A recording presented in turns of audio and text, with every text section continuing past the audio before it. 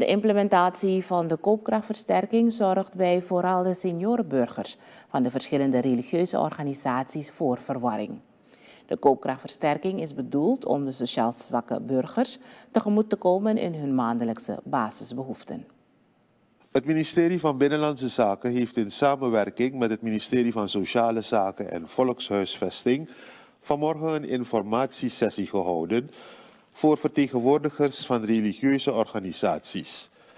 Het doel was om de verschillende knelpunten waarmee de religieuze leiders dagelijks te maken krijgen te bespreken en een mogelijke oplossing te brengen.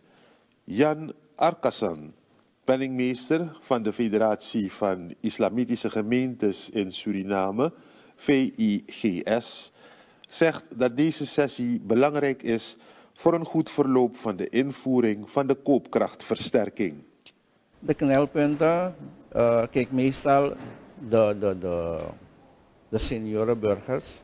Een van die knelpunten zijn bijvoorbeeld die daggaschriften.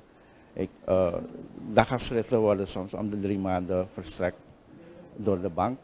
En, en uh, mensen krijgen daggaschriften soms laat en ze moeten dat als als bijlage sturen voor de aanvraag. Dus je loopt tegen dat soort uh, knelpunten aan.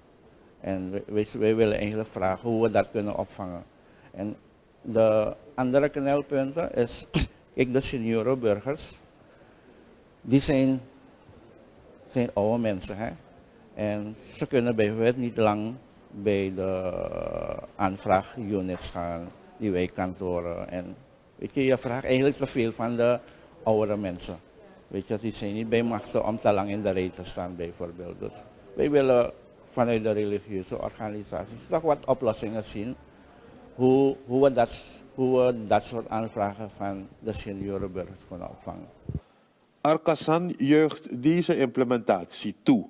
Gezien de huidige economische ontwikkelingen in ons land kan vooral deze groep de extra financiële ondersteuning goed gebruiken.